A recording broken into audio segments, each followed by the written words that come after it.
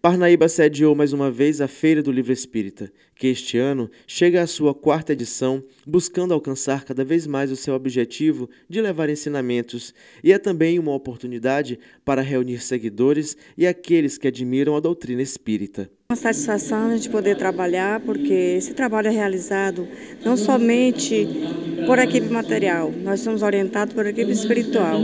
As dificuldades existem, mas elas vêm como um desafio para nós e estamos prontos e dispostos para a próxima e outras mais que vierem. Na tarde da programação, que seguiu durante todo o sábado no Castelo de Eventos, houve o lançamento do livro Vidas em Desalinho, do médium e escritor Pedro Aguiar, que destaca em sua obra o descompasso nas relações entre os seres humanos, mas que podem ser corrigidos. Para nós que vivemos dentro da, da doutrina espírita, é sempre uma alegria muito grande podermos estar passando adiante os conhecimentos adquiridos, porque hoje nós vemos muitas pessoas, como diz aqui no livro, é, com a vida cercada de desalinhos constantes dentro do, da, dos vícios, das fantasias trazidas pela vida presente.